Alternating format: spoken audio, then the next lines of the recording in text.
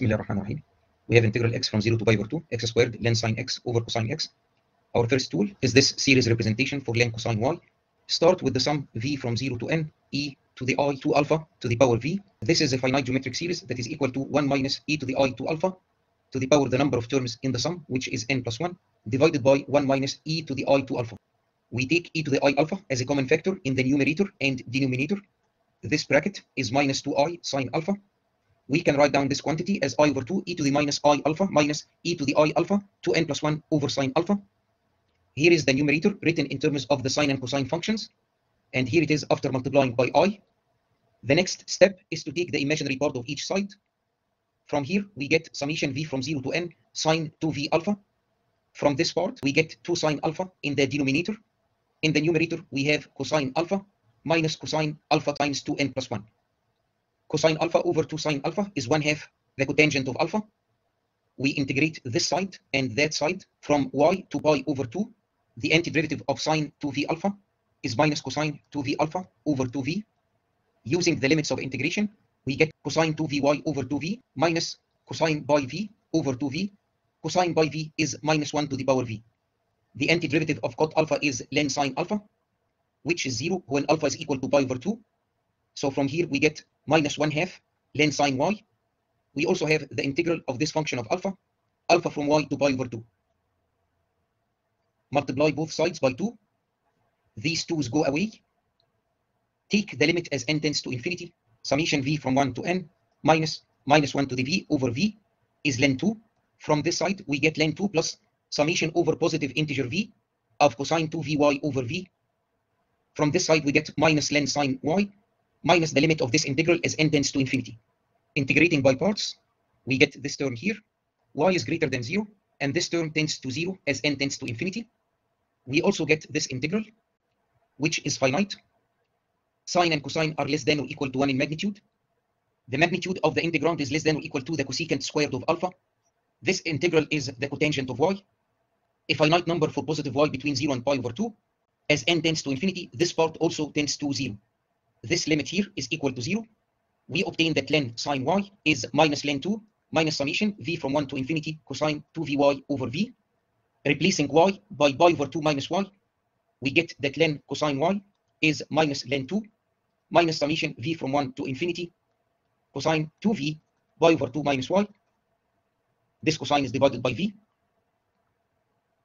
In the numerator, we have cosine 2vy times cosine by v, which is minus 1 to the power v. Len cosine y is equal to minus len 2 minus sum over positive integer v of minus 1 to the v cosine 2vy over v.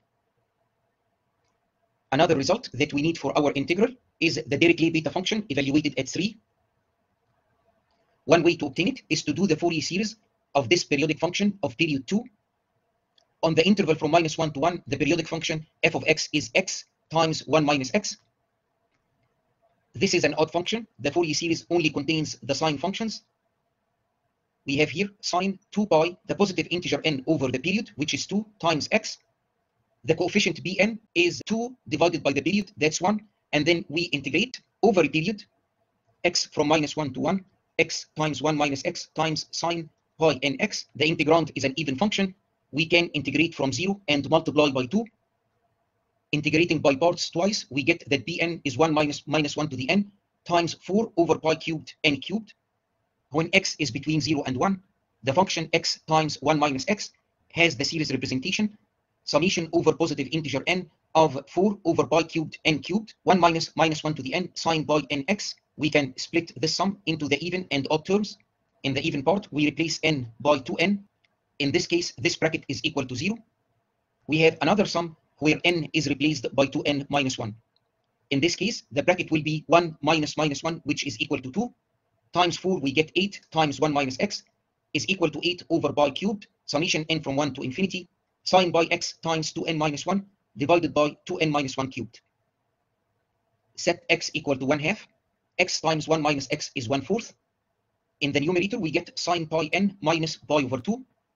This is equal minus cosine pi n times sine pi over 2, which is minus 1 to the n times minus 1. Replace the summation index n by n plus 1. Now we have a sum over non-negative integer n. In the numerator, we have minus 1 to the n. In the denominator, we have 2n plus 1 cubed. This sum is equal to pi cubed divided by 32. The integral x from 0 to 1, x to the a, ln x to the b, is minus 1 to the b, gamma of b plus 1 divided by a plus 1 to the power b plus 1. We will need this result here, which is valid whenever the real parts of a and b are greater than minus 1. In the integral of interest, replace x by pi over 2 minus x. This ratio becomes ln cosine x over sine x. The ratio is now multiplied by the square of pi over 2 minus x. Expanding, we get these three terms. To evaluate the integral x from 0 to pi over 2 ln cosine x over sine x, use the change of variables, cosine x equal to t. When x is 0, t is 1. When x is pi over 2, t is 0. Sine x is the square root of 1 minus t squared. dx is minus dt over the square root of 1 minus t squared. We can use this minus sign to have the integral t from 0 to 1. The integrand is ln t divided by 1 minus t squared. t is from 0 to 1. We can use the expansion 1 over 1 minus t squared is summation over non-negative integer j of t to the 2j. We integrate term by term. This is the last integral on the previous page.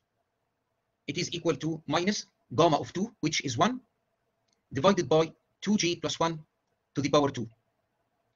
This is the sum of the reciprocals of the squares of the positive odd integers, which is 3 fourths zeta of 2.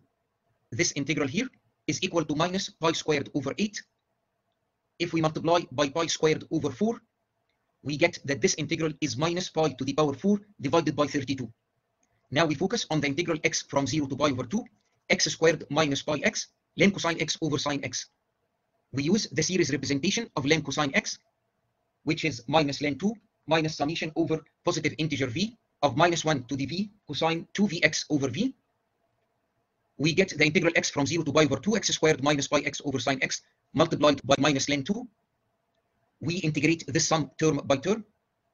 We have this integral x from 0 to pi over 2 x squared minus pi x cosine 2vx over sine x. Note that this integral here is the same as this one if we set v equal to 0. So let's focus on this integral here. Call it omega of v. This integral is minus ln 2 times omega of 0 minus summation v from 1 to infinity minus 1 to the v over v omega of v. What is omega of v plus 1 minus omega of v? In the integrand, we get cosine x times 2v plus 2 minus cosine x times 2v. This difference can be written as minus 2 times two sine functions. The argument of the first sine function is 2vx plus 2x plus 2vx divided by 2. This is 2v plus 1x. The argument of the second sine function is 2vx plus 2x minus 2vx divided by 2. This is sine x. It goes away with the sine x in the denominator. We get this integral here. Integrating by parts twice, this integral times minus 2 is 4 over the cube of 2v plus 1. Omega 1 minus omega 0 is equal to 4. Omega 2 minus omega 1 is equal to 4 over 3 cubed. Omega 3 minus omega 2 is 4 over 5 cubed. Generally, omega v minus omega 0 is 4 times summation L from 0 to v minus 1, 1 over 2L plus 1 cubed. We can put this result here. We can take omega 0 outside the sum. This summation with the minus sign is ln 2. So this is ln 2 omega 0 minus ln 2 omega 0, that's 0. What is left is minus 4, summation v from 1 to infinity, minus 1 to the v over v. Then this sum here. The sum of interest is minus pi to the 4 over 32. Then this part, the integral x from 0 to 1, x to L ln x squared is equal to minus 1 squared, which is 1, gamma of 3, which is 2, divided by 2L plus 1 to the power 3. This summation here can be expressed as, as the sum over these integrals indexed by L divided by 2. Interchanging the order of summation and integration, we have the sum L from 0 to v minus 1 x to the 2L, which is 1 minus x to the 2v over 1 minus x squared. If we apply this sum with respect to v, to this one, we get minus ln 2.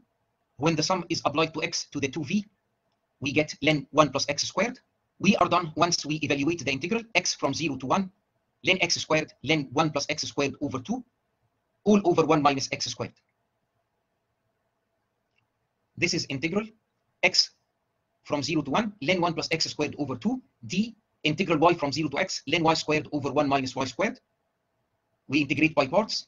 the product of these two functions of x is equal to 0 when x is equal to 0. Also, the product is equal to 0 when x is equal to 1, as we get a finite integral times len 1 plus 1 over 2, that's len 1, which is 0. We also have minus integral x from 0 to 1, the derivative of this function of x, which is 2x over 1 plus x squared. This ratio is multiplied by integral y from 0 to x, len y squared over 1 minus y squared. Do the substitution, y equal to tx. When y is 0, t is 0. When y is x, t is 1. We can do partial fractions. x squared, 1 plus t squared, over 1 plus x squared, 1 minus t squared x squared, is equal to 1 over 1 minus t squared x squared, minus 1 over 1 plus x squared. This 2 is here, minus 1 times this difference gives 1 over 1 plus x squared minus 1 over 1 minus t squared x squared. Split this into two integrals. The integral with this part is here. For the other integral, expand this square. We have len t plus len x all squared. So we have len t squared plus len x squared plus 2 len t len x. In the denominator, we have 1 plus t squared times 1 plus x squared. Both t and x are from 0 to 1 we get the same value if in the numerator we have len t squared or len x squared. We can just have the double integral with len x squared in the numerator. We change this 2 into 4. We also have 4 integral x from 0 to 1, integral t from 0 to 1, len t, len x over 1 plus t squared, 1 plus x squared. This is 4 times the square of the integral x from 0 to 1, len x over 1 plus x squared.